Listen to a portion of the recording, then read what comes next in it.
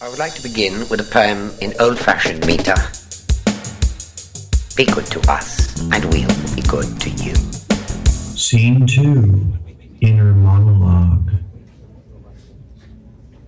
Setting. Scene 2 begins inside a small church with stained glass windows. Angry Bill sits at the front of the room in a black Key Tags Matter t shirt. The coffee maker percolates in the foreground. Romeo slurks and slithers into a seat in the row which is located all the way in the back, furthest from the speaker, and closest to the door, also known as relapse row, also known as denial aisle. Hear ye, hear ye, hear ye.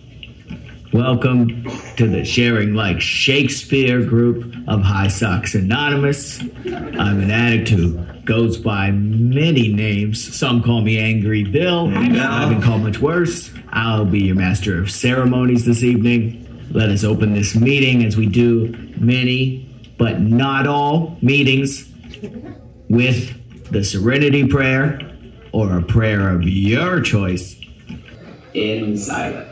Yeah, God. Grant us the serenity to accept the things that I cannot change, the courage to change things we can, and the wisdom to know the difference. Thank you.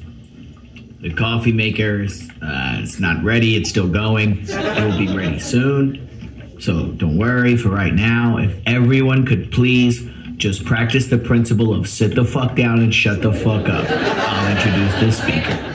I cannot recall why I requested this man to speak tonight, for he is a real donkey.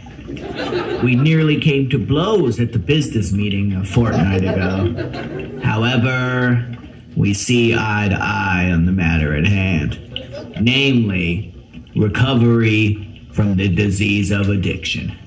This man has recovery not of mice, but of men. And I can place principles before personalities and call a spade a spade.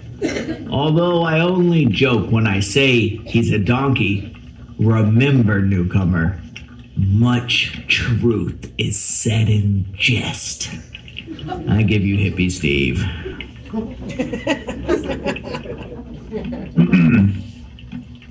Thank you, Angry Bill. Angry Bill stumbled into the fellowship bringing with love, honesty, and willingness about two years prior to my arrival. I can assure you he will never relapse, for that would mean that subsequently I would have more clean time than he. And he will never let that happen. Seriously, though, I thank you for the humbling introduction. I need to be reminded that I am capable of reverting into a donkey at any time, and I only have a daily reprieve from donkeydom. Even with many moons clean, I can still slip up into the melodrama wishing I could be what I think I should be. Pronounce that. I've been around a few sundial spins, and I still might happen into a corner which I can't escape from clean. At least not without thine help. But any vast journey begins at the beginning, and thus it is. Fools. All them with their smiles. What an alien feeling. They do not want to hear my boo hooing. It was all good just a week ago. It was me up there at the podium. And look at me now, trembling in the presence of the message. Positively angry Bill is waiting in the wings, ready to cry out. I, I told you so. I'm sure that whatever I share will immediately get back to Juliet. Just like a tightrope walker who plummets to his death amidst cheers from the crowd, only to be eaten by a circus tiger. These animals will salivate at my fall from grace only to ravish me. I can hear them now. Or is this a fantasy in reverse? I must ask myself whether 'tis nobler in the mind to save my face or my ass now. I will not use, but I cannot go on living. Not this way. My choices are none. I must share for this reason. I remember now when I shared in the mirror crying. I fancied I had gone mad.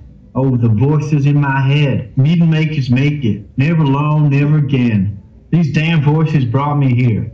Out, out, I say. They will not leave me be. I know it, and they have every intention of ruining any get high I find.